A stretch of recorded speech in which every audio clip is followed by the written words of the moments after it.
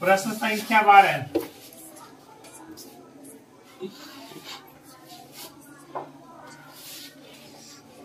शंकुआकार canvas का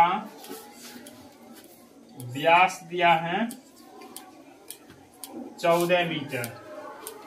इससे हम त्रिज्या निकाल लेंगे। सूत्र होता है व्यास बटे टू।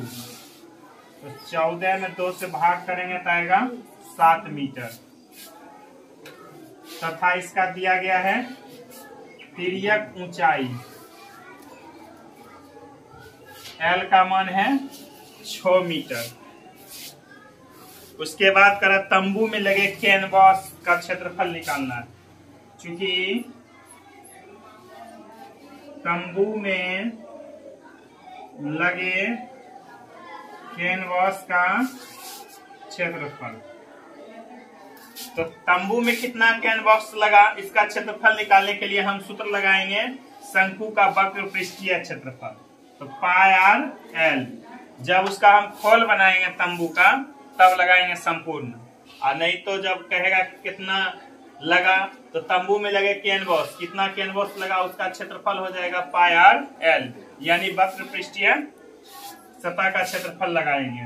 तो पाई का मान है बाईस बटे सात और त्रिज्या है सात। और उसके बाद तिरक ऊंचाई दिया गया है छ तो सात से सात क्या होगा? कटेगा। इसको गुना करेंगे। छह दूनी बारह, एक दो, बाकी एक। छह दूनी बारह, एक, तेरह। Meter square answer. तो शंकाकार कैनवास का व्यास दिया था। हम त्रिज्या निकाल लिए और तिरक ऊंचाई दिया गया है।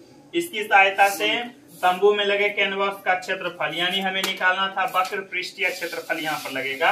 तब उसमें जो है, क्योंकि नीचा वाला जो है भाग तो खुला रहता शंकु का, टोपी के जैसा रहता है।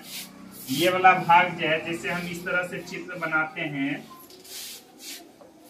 तो ये वाला भाग तो खुला न रहता है। तो ये वाला भाग जो है नहीं झुकेगा। हमको सिर्फ़ ये जो है, ये परत का बनाना है। ये तो इसीलिए लगा वक्र पृष्ठीय सतह का क्षेत्रफल। ठीक है?